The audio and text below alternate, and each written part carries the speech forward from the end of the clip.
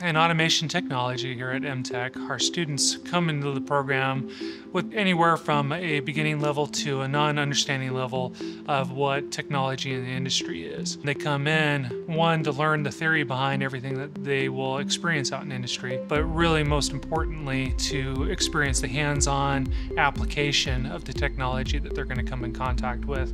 So they're gonna learn how to troubleshoot all various types of electrical, hydraulic, pneumatic, computer robot systems, read schematics, design schematics, and be able to make fully functioning systems and maintain those systems. We attract students that are one, looking to start a career in technology, something that's really booming and there's a lot of potential for. I typically say someone that likes to tear things apart, put things back together, is this is the kind of perfect field for you. Our instructors spend most of their time working with students on a one-to-one basis, uh, particularly in the lab environment.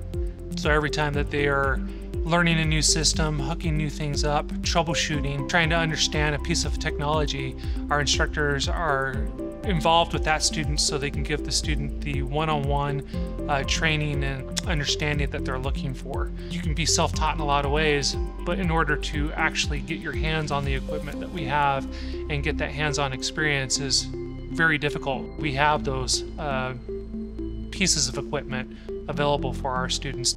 Most of our students are finishing this program going to work for companies like Texas Instruments, Tyson Foods, all sorts of different manufacturers. Really, the, the sky's the limit. And that's the nice thing about this program is you can figure out what you want to specialize in and what area you want to work in.